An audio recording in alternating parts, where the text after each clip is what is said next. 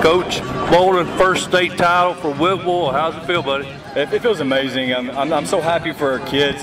Um, we brought, we, I think we brought the entire county today, man. Um, I'm so proud for the people that, that, are sitting in the stands. I'm proud for the people who's wore this W before um, and went through some tough times. Uh, but at the end of the day, man, I mean, we'll, we'll let this sink in a little bit. Um, I also know that I, am losing these seniors, yeah. and they've been a lot to me.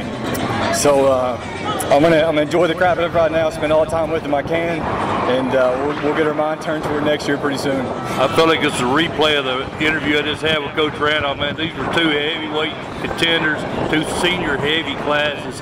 I mean, it's like you said. My hat's off. Petty, Petty had one heck of a game for you guys. Well, he's a heck of a ball player. We tried like crazy to get the ball to him early on, but this daggone win, man, was just it was, it was just playing crazy games with the football, and it ended up hurting Cornersville too on some of their passes. So we were fortunate. We wanted. We knew we wanted the win in the, in the, in the second and the fourth quarters. So we were fortunate enough to get that, bounce our way, and uh, we made some, some big passes down the stretch. But I can't say enough about our team. Um, you're, you're, talking about Hudson. I mean, the kid could just play anywhere.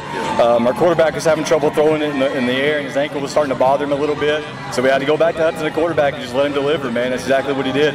Did the win, having to win in the fourth quarter, did that kind of weigh into your decision to go for on fourth down down here? Yes, yes, absolutely. Um, and of course, like I've told everybody all year, man, if we're close, I have faith in my kids, and my kids have faith in me. And so they know if it's close, we're going for it. We can't score unless we have the ball in our hands, so we want to keep it as much as we can. And hats off to Cornersville, man. They got downhill. They knew we couldn't throw it a lot. They knew the weather conditions. They got downhill and just almost shut our running game completely out.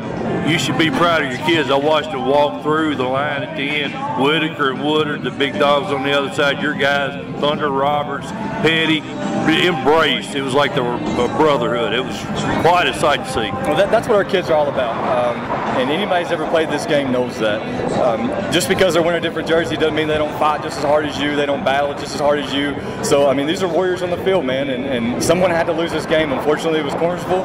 And fortunately for us, it was us. So, um, um I'm, I'm, I, heck, I'm proud for Cornersville, too, man. I grew up in Waverly, Tennessee, because Cornersville's not too far. So, I like seeing some schools that aren't traditional powers get here and compete, man. So, I mean, that's huge for us. I know it's going to be huge for uh, Coach Randolph's program as well enjoyable game for us as fans, man. We appreciate it. Go uh, enjoy this win with, with your team. I appreciate it, guys. Thank you for what you do. Thanks, Coach.